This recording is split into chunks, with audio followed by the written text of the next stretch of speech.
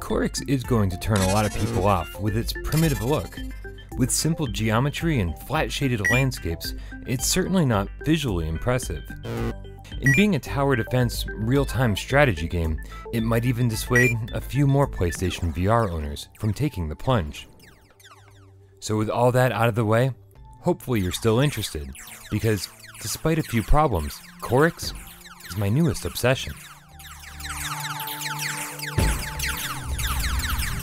Now, I'm certainly not a tower defense veteran. I've had limited experience, mostly with PixelJunk Monsters and Plants vs. Zombies. Now, if you're new to the genre, don't worry. Korix is tough as nails, but only introduces one new concept per level, easing you into its often frantic, fast paced gameplay. The premise is simple defend your base by sending workers to the mine to gather resources, enabling you to build walls, laser turrets, and infantry. But it's also important to rapidly expand your territory to take down the enemy base before they start sending heavy artillery your way.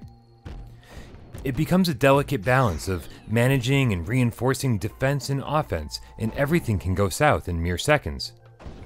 I've died countless times in Korix, with each death causing me to reevaluate my approach, desperate to jump back in with my new plan of attack.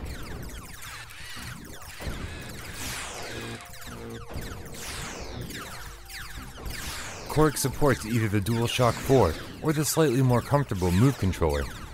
Both get the job done, but regardless of your preference, precision might become an issue when things get frantic.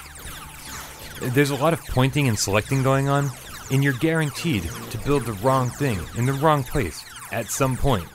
Now, none of this is game breaking, but it's something to be aware of.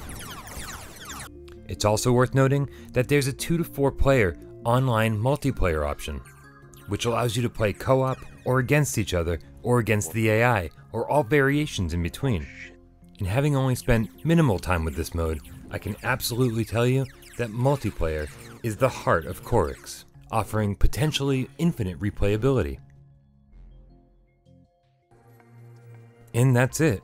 Korix is somehow simple and stupidly complex all at the same time. It'll take you by the hand while throwing you to the wolves, making Korix endlessly frustrating and hopelessly addictive. Get online and find a friend. You won't regret it.